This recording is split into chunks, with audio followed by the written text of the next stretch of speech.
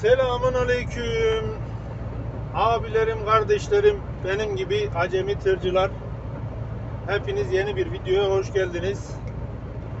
Bugün bir arkadaşımızın yorumu üzerine bir video çekeceğiz inşallah. Hatta şu an için ben farklı bir video hazırlamaya çalışıyordum. Onu eee, yer değiştireceğim. Yani bu mevzu biraz daha öncelikli diye e, ilk videomuz bu olur muhtemelen. Öbür videoyu da Cuma'ya inşallah yayınlarız. Neyse konu şu. Diyor ki arkadaş Ankara'da az tecrübeyle girebileceğimiz firmalar nelerdir? Nerelerdir? Bize bir bu konuda e, yardımcı olursan yani yol gösterirsen e, iyi olur diye yazmış. Öncelikle yorum için çok çok teşekkür ediyorum. E, Sedat'tı ismi herhalde yanlış hatırlamıyorsam. E, yanlış söylediysem de kusuruma bakmasın. Affına sığınarak. Şimdi e, benim gibi bu işe Ankara'dan başlayacak olan arkadaşlar için güzel bir rehber videosu olacak. Hani yol göstermek, önderlik etmek haddimize değil. Hani o konuda eee affınıza sığınıyorum ama kelimelerden ötürü ben sadece başımdan geçen olayları anlatacağım. Eee yani ne yaşadığımı bu süreye kadar ve yaptığım yanlışlardan esinlenerek hani böyle bir yanlış yapmayıp da şöyle yaparsa daha iyi olur diyebileceğim şeylerim var. Şimdi öncelikle bu firma olayına gelmeden önce eee, az tecrübe veya tecrübesiz iş bulma konusuna şöyle bir ufaktan değinelim. Bununla ilgili de büyük bir yani uzunca bir video yapacağım inşallah. İş ilanlarıyla falan filan nereden başlanır, nasıl olur falan gibisinden daha böyle kapsamlı bir video yapacağız. Eee, şu an için Ankara mevzusunu en azından eee, anlatalım anlatmaya çalışalım hiç olmadı. Öncelikle az tecrübe ve tecrübesiz başlama olayı. Şimdi benim naçizane size tavsiyem ki ben de böyle yaptım zaten. Hani şoförlük derecenize göre yani ne kadar araba kullanabiliyorsunuz veyahut da araba kullanmaktan da ziyade e, yani araba bir şekilde kullanılıyor yani bundan emin olabilirsiniz. Lakin trafik yani trafiğe ne kadar hakimiz? Önde giden arabaların e, yapacağı hareketleri tahmin etme olayımız, öngörü olayımız ne kadar iyi? Bu çok önemli. Dediğim gibi e, daha önce de iki tekerden 12 tekere kadar araba kullanan, e, araç kullanan birisi olarak söylüyorum. Uzun yıllardır da trafikteyim. E, araba kullanmasını, yolda olmasını da çok seven birisiyim ki zaten şu an o yüzden bu mesleği seçtim öğretmenlikten sonra. E, öncelikle bu mevzunun oturmuş olması lazım. Özellikle genç arkadaşlara sesleniyorum. Şimdi ehliyeti daha öncesinde 23 yaştı. Yanlış bilmiyorsam geçenlerde de bir e, genç bir arkadaşımız söyledi. Ondan öğrendim yani. 21 dolunca artık bu D'yi eskiden D'ydi. Şimdi CE oldu ya. Bunu alabiliyormuş genç arkadaşlar. Küçük bir yaş değil ama bana sorarsanız naçizane tam da yaşı değil.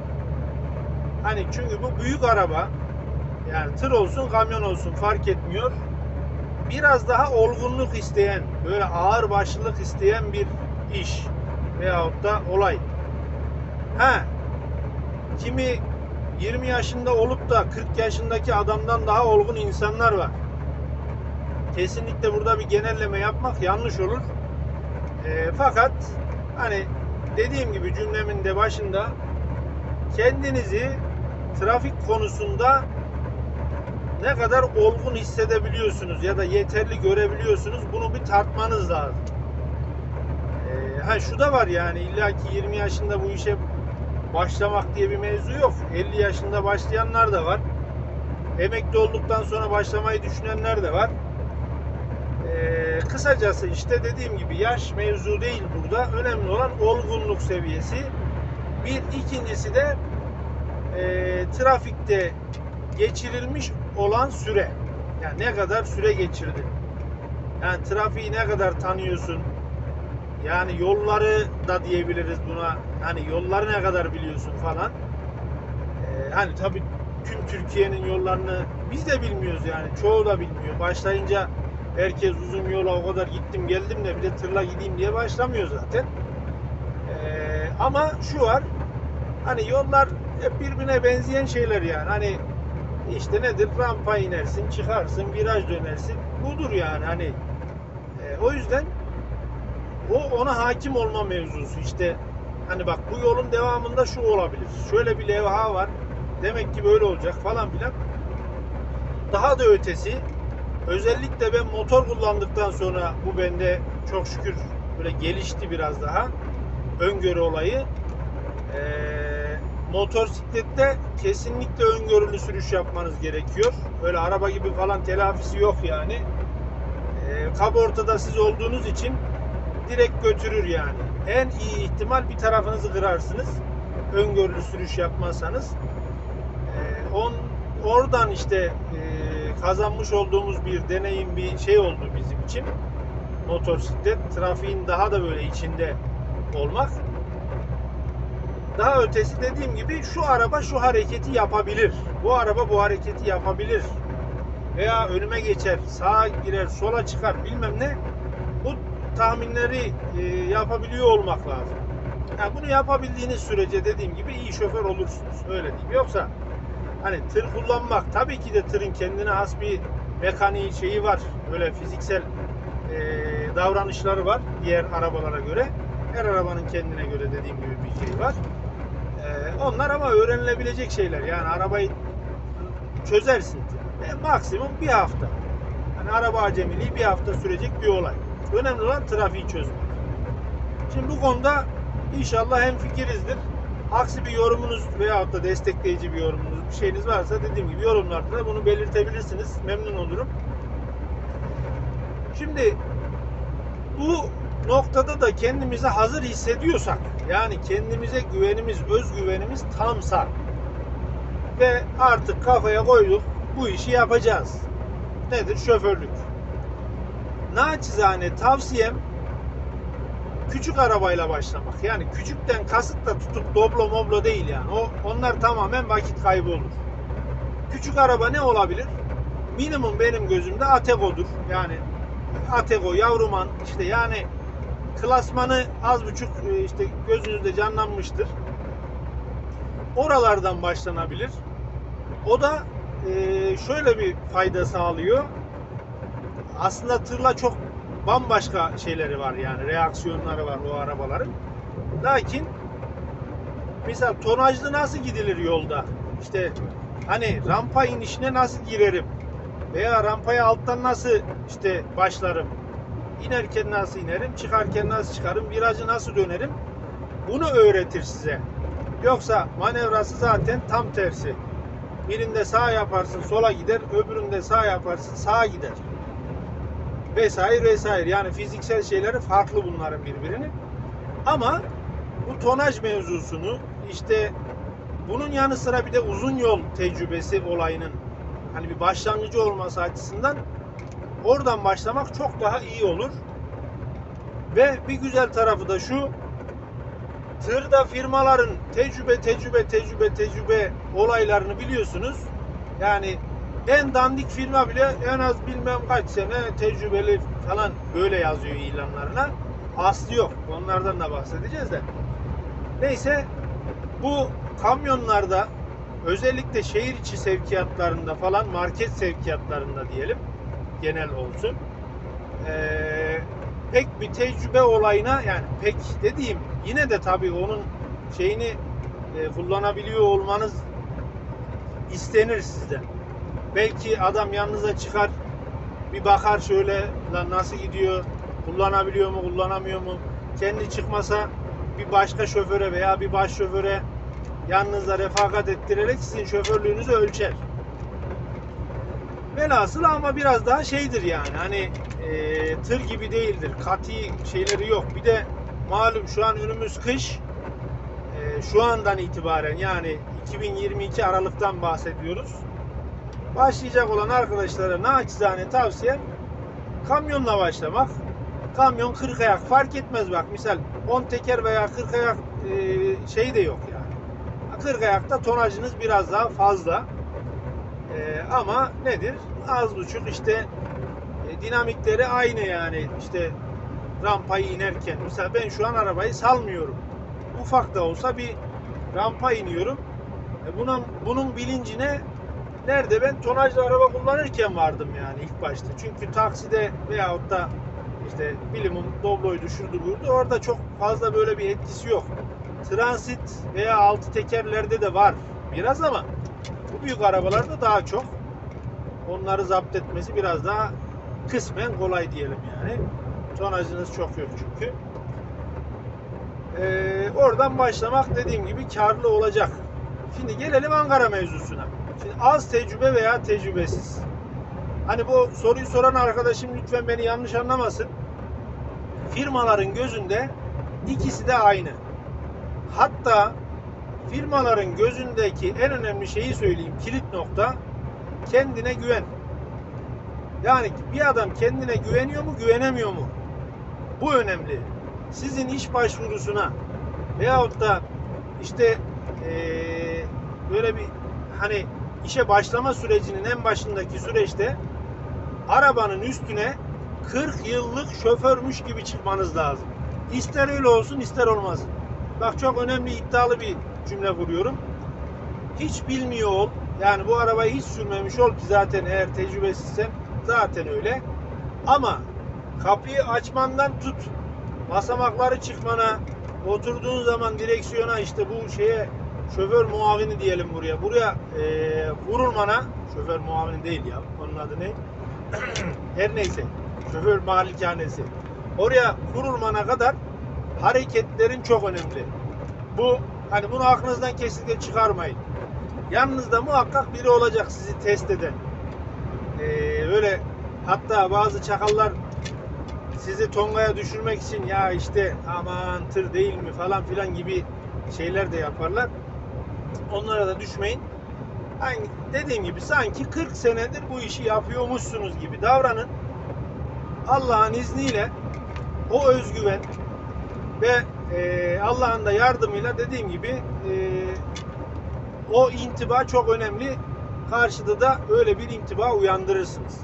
Tamam der adam ya bu hani tecrübesi yok belki ama adamın koltuğa kuruluşundan belli. Bu bu arabayı sürer diye o şeyi vermeniz lazım. O algı oluşacak karşıda.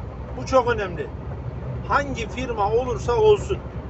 Bakın şu an eee, her ne kadar ilanlarda yok bilmem kaç senelik tecrübe var şu kadarlık eee, yıl geçecek zart yazmalarına da aldanmayın öyle bir şey yok var da yok yani hani adam nasıl diyeyim firmanın işte halkla ilişkiler olsun veya firma sahibi olsun veya baş şoför olsun istiyor tabii ki de yetişmiş şoför eee ondan sonracıma böyle hani bu işi bilen adamı işe almak ister istiyor ama yok yani şu an yeni başlayacaklar için en büyük avantaj bu.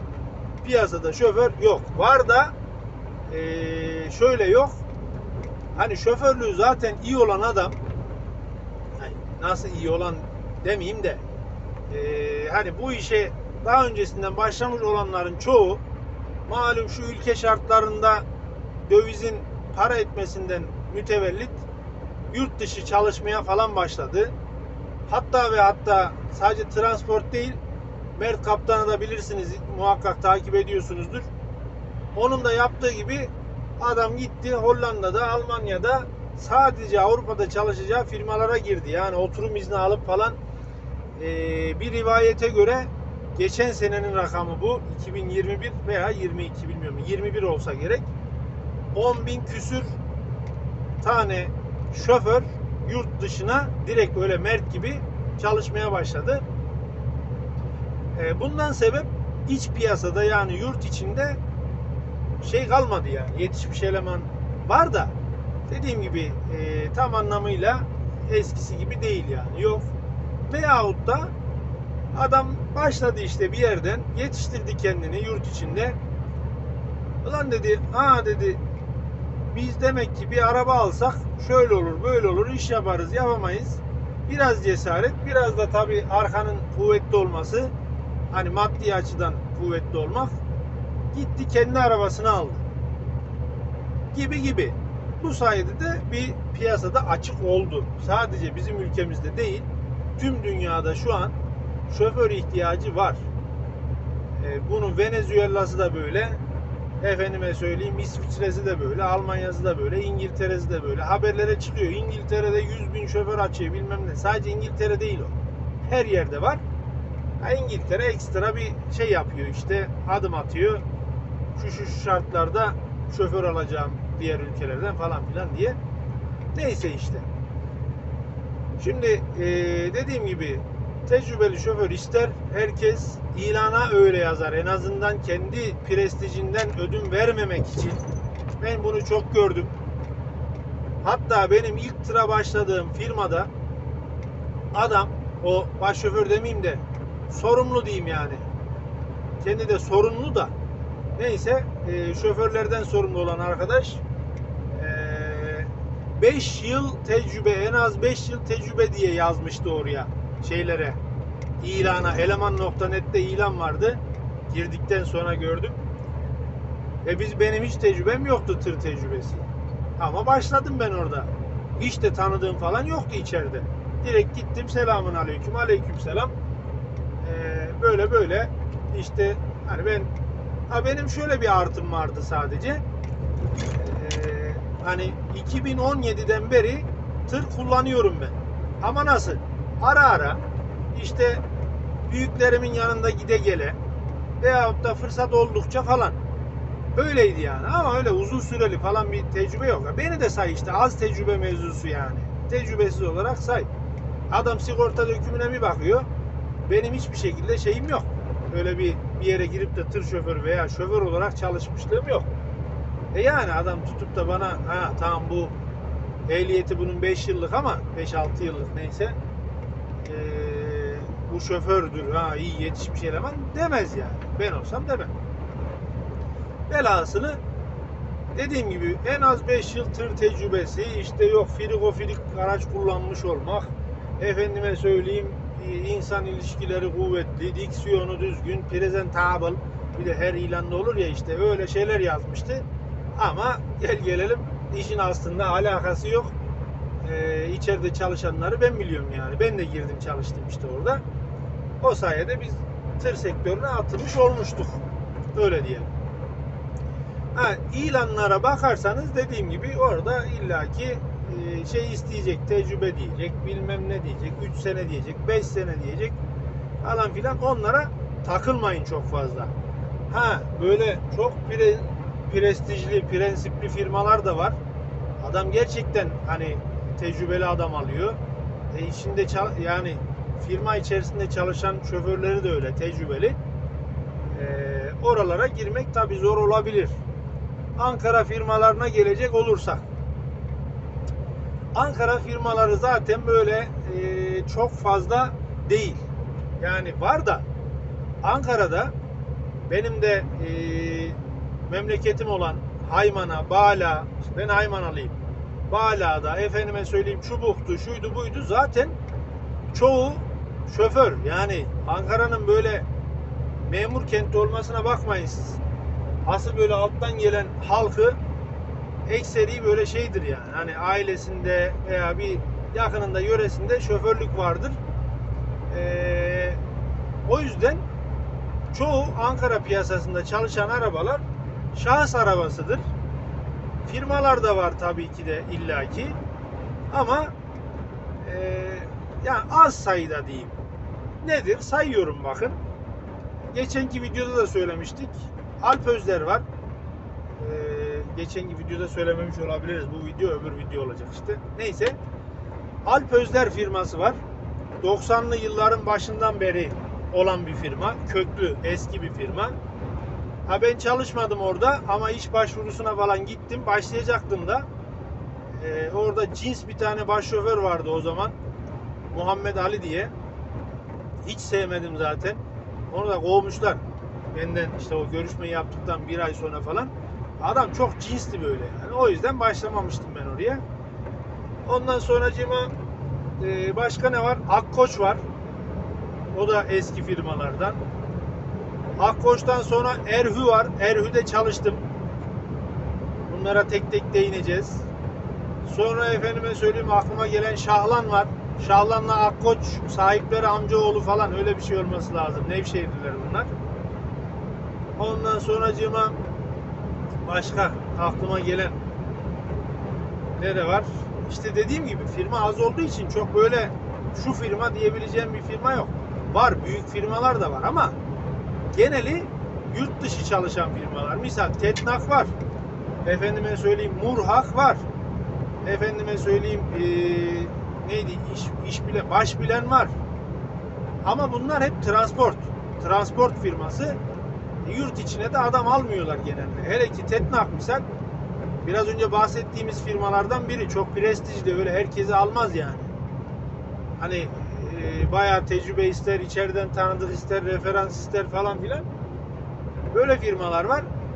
Bu ilk saydığım firmalar biraz yurt içi çalışıyor. Hatta Alp Özer'in de hem yurt içi hem de yurt dışı e, operasyonu var. Biri çamurluğu buraya düşürmüş gitmiş. Neyse eee tabii bir de bunlar bu saydıklarım filos araç filosunun geniş olduğu firmalar. Tabii tekleme tükleme olanlar da var. Misal 10 tane arabası var. 5 tane arabası var. Veyahut da eee, şahıs 2 tane arabası bundan çok görürsünüz.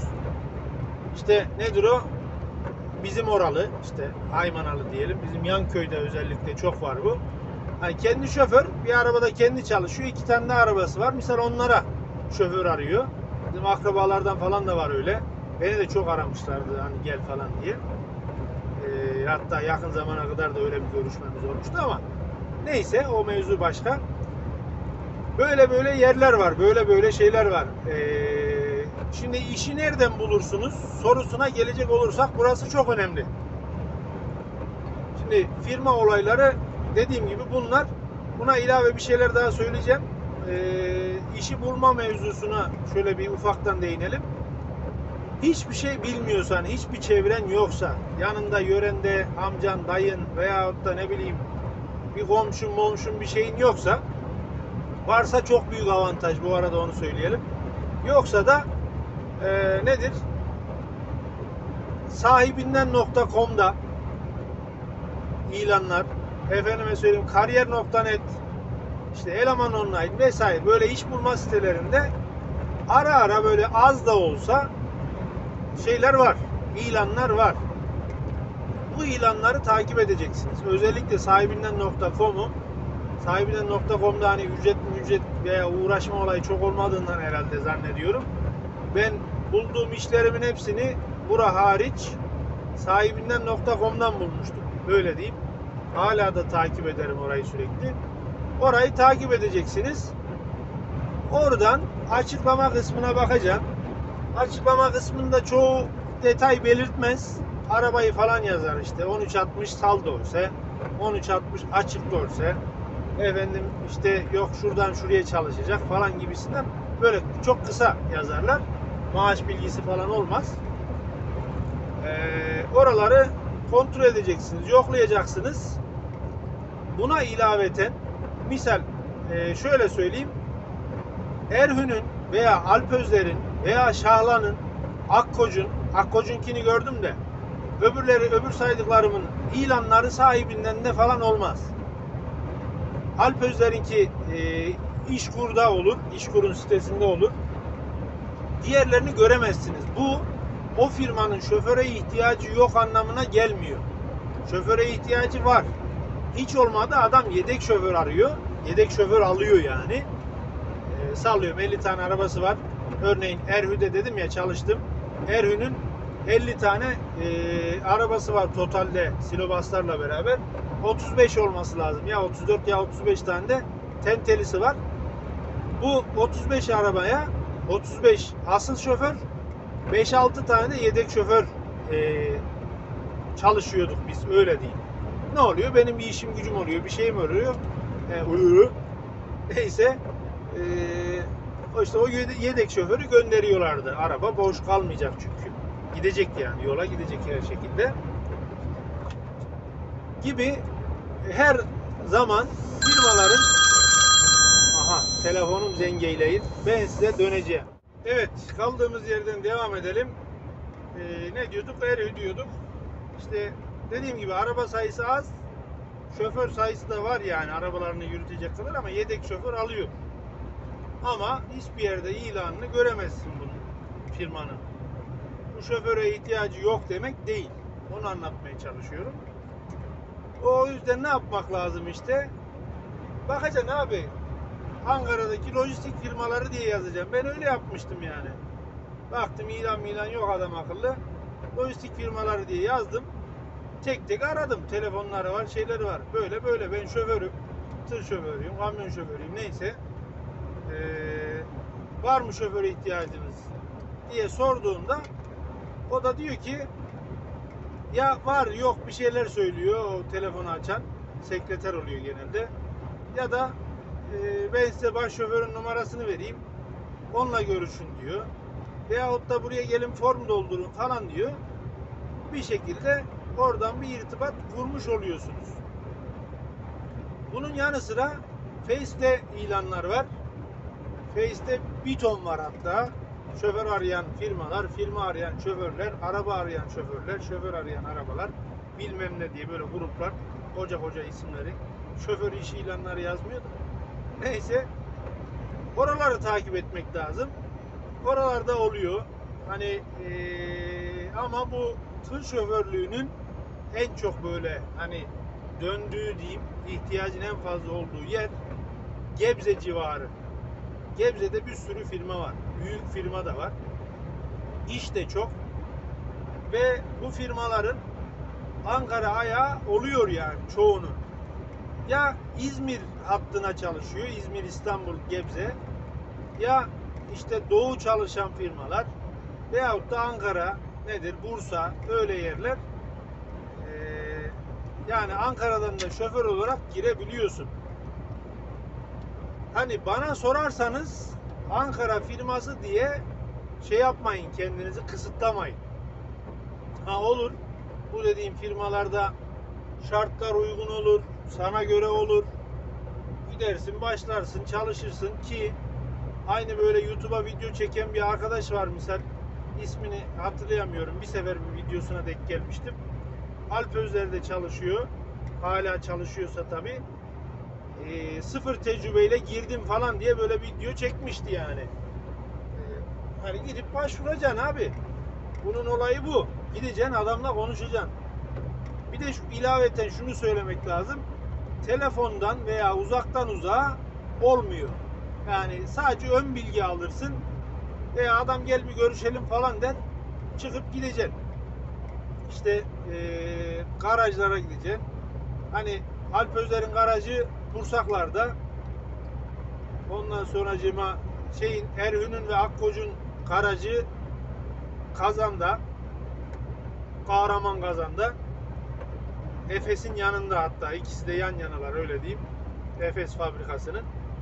Ondan sonracığıma eee Şahlan'ın garajı Saray'da. Saray'da mıydı? Bu Dempa Sanayi'nin karşısında olması lazım. Onların da baş şoförü İshak abi var. Şahlan firmasının.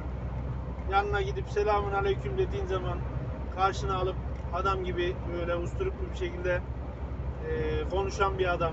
Güzel babacan bir adam. iyi olduğunu da söylüyorlar. Eskiden Akkoç'ta baş şoförmüş. Efendime söyleyeyim Erhün'ün e, baş şoförü Sefa abi.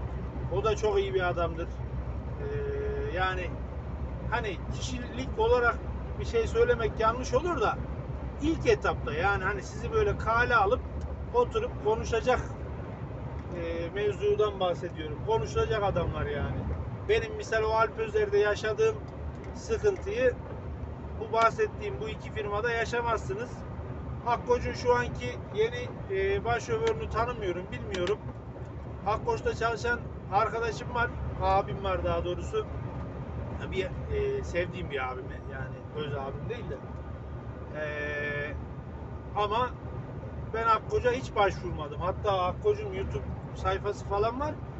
Ben bu işe başlamaya niyetlendiğim zaman orayı takip ediyordum. Lan ne güzel diyordum şuna bak adam böyle e, YouTube'a içerik üreten bir firma. Bayağı da büyük bir firma herhalde falan diye. Büyük olmaya büyük bir firma. Ama Efes çekiyor. Alkol. Bu da benim inancım gereği e, istemediğim bir şey olduğu için oraya hiç gitmedim yani. Hiç konuşmadım bile. Hatta şu an Erhü de Efes çekmeye başladı diye duydum. Ne kadar doğru ne kadar yanlış bilemem. Ama asıl şeyi kazan sodadır. Ee, soda çeker yani körfeze, limanlara, e, big bag'lerle dönüşte de işte piyasadan ne bulursa döner.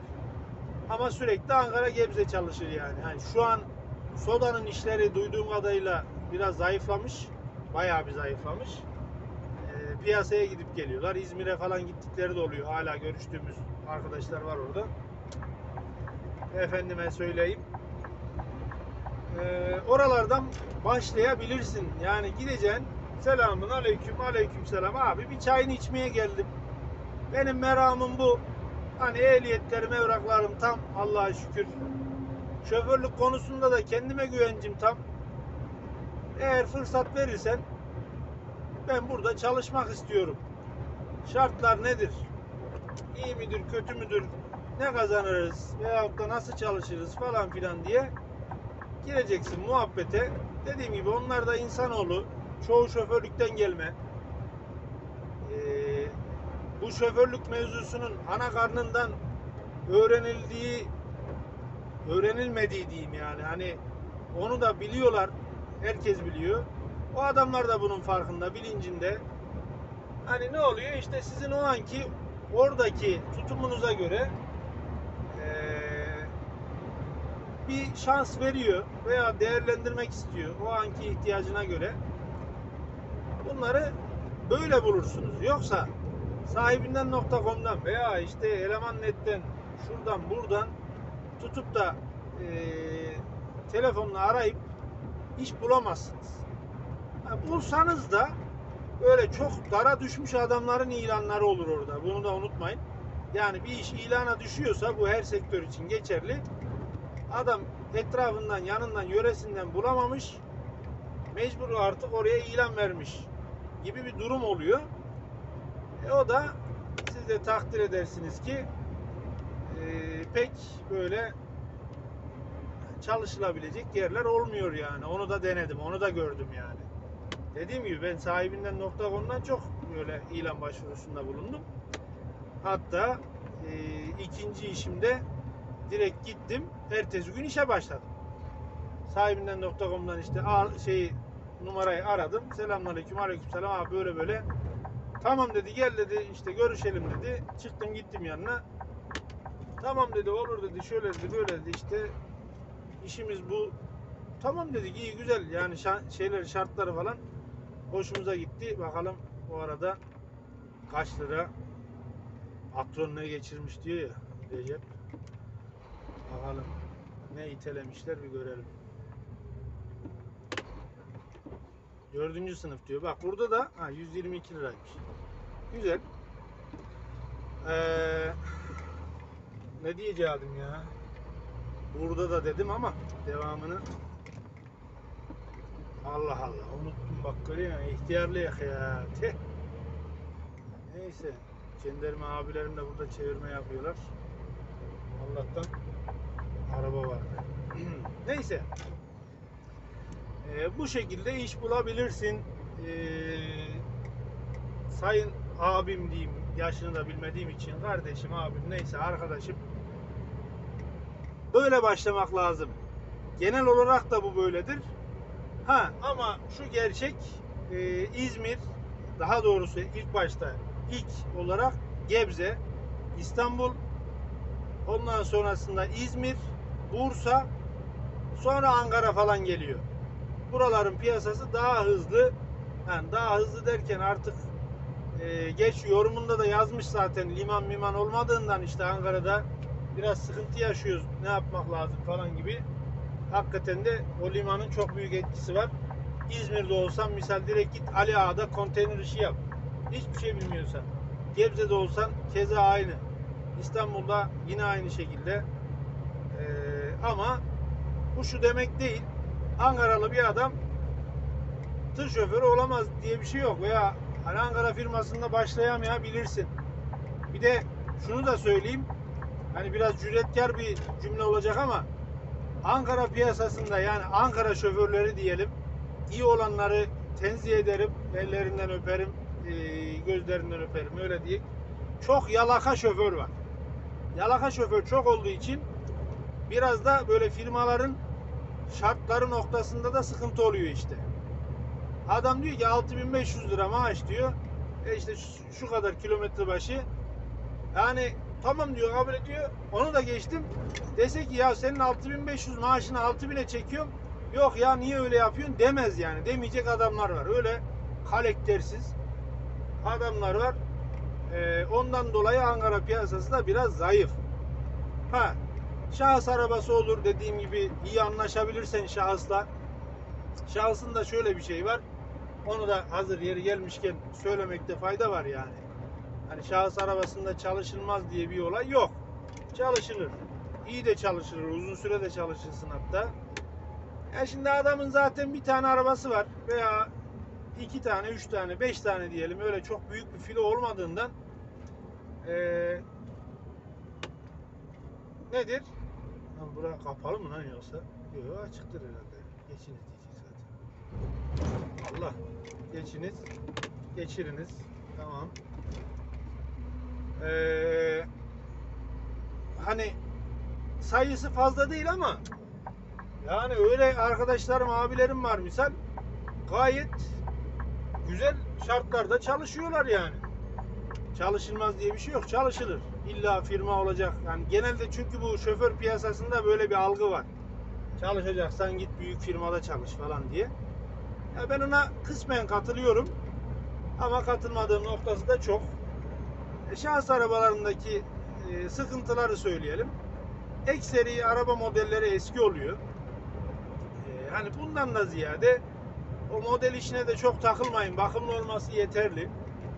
Ee, bundan da ziyade e şimdi adam zaten hani bir iki arabayla, üç beş arabayla neyse iş yapmaya çalışıyor. Para kazanayım. Hani biraz da fazla para kazanayım da araba sayımı arttırayım gibi bir düşüncesi olduğundan yani seni biraz böyle zorlayarak çalıştırıyor yani. Hani sosyal haklar noktasında seni böyle bir koruyan bir şey yok adamla yani araç sahibiyle, mal sahibiyle arandaki diyalog yani tamamen.